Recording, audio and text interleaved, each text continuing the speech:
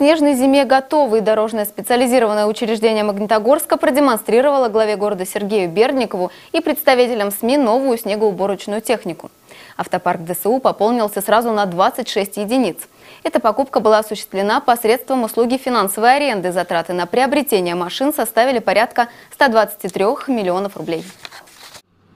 В обновлении автопарка ДСУ нуждалась уже давно. На службе хозяйства до сих пор состоят машины, закупленные еще в 1986 году. Постоянно выходящие из строя, малоэффективные в работе, они обходятся предприятию дороже, чем покупка новой техники.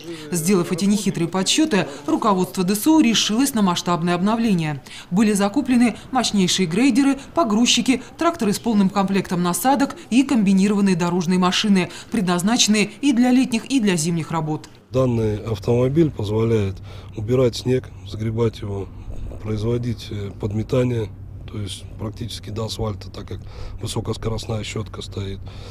Э, позволяет распределять, э, начиная от химреагентов и заканчивая пескосоляной смесью, то есть все виды посыпочного материала, причем с точной дозировкой и с контролем. А в летнем режиме эта чудо-машина может убирать и мыть проезжую часть, общественные остановки и ограждения. Причем ее переоборудование с летнего на зимний вариант происходит в течение полутора часов, а не за три смены, как у старой техники. Еще одним не менее важным приобретением стала дробильная машина. Позволяет э, нам э, дробить именно ветки, потому что основные затраты идут на перевозку. Э, почему? Потому что груз объемный, когда мы грузим ветки, вроде э, самосвал 15-кубовый, а везет он там буквально полторы-две тонны. То есть вот эта дробилка позволяет скомпоновать и довольно-таки серьезно сэкономить на перевозки, на транспортировке этих отходов. Глава города Сергей Бердников первым оценил все эти нововведения. Ему доложили, что пополнение парка комбинированных дорожных машин на улицах города в этом году и будет работать 18 единиц, позволит в разы увеличить скорость и качество очистки дорог от снега. Осмотрев машины и выяснив, что расходный материал у новых агрегатов всего на один сезон, Сергей Николаевич настоятельно рекомендовал уже сейчас озадачиться поиском надежных поставщиков.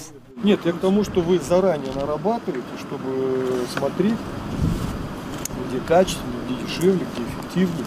В том числе, говорю, рассматривайте наш комбинат. В целом, увиденным глава города остался очень доволен. Это действительно на сегодня самая производительная техника, поэтому я полагаю, что наша одна новая единица будет менять э, старых две.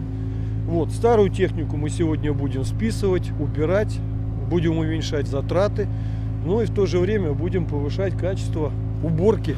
Отметив, что все вложения окупят себя за пять лет, Максим Безгодов заметил, что, скорее всего, эти приобретения не станут последними. Автопарку хозяйства нужно обновляться еще на 40%.